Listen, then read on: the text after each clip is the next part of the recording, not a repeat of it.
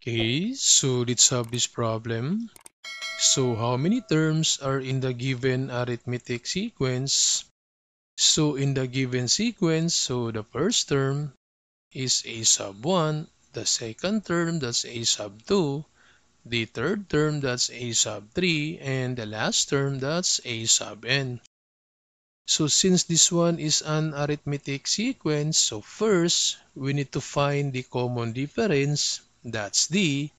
So using this formula that A sub 2 minus A sub 1. So to solve for the common difference, so A sub 2, that's negative 1. Then minus A sub 1, negative 5. Then simplify, so we have negative 1. Then this double negative, that's positive. So therefore, the common difference is positive 4. So to find out the number of terms, so using the arithmetic sequence formula that a sub n is equal to a sub 1 then plus the quantity of n minus 1 times the common difference.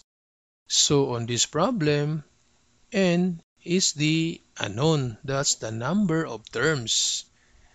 Then to solve now for the number of terms, so from this formula, so we have a sub n, that's 203, then equals a sub 1, that's negative 5, then plus the quantity of n, this one is the unknown, minus 1 times the common difference, that's 4. Then simplify, so transpose this negative 5. So we have 203, then plus 5, then equals, so distribute. So n times 4, this one is 4n. And negative 1 times 4, that's negative 4. Then simplify, so 203 plus 5, that's 208. Then transpose this negative 4. So that becomes positive 4 then equals 4n. Then we have this 208 plus 4. That's 212. Then equals 4n. Then to solve for n, so divide both sides by 4. So therefore, n is equal to, so this 212 divided by 4, so we have 212 divided by 4.